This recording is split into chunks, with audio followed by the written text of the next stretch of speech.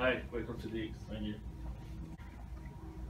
there anything I can help you with today? Um, yeah, I'm looking for a roller if you have any. Yeah, I think so. Follow me this way. Is this what you're looking for? Yeah, seems about right.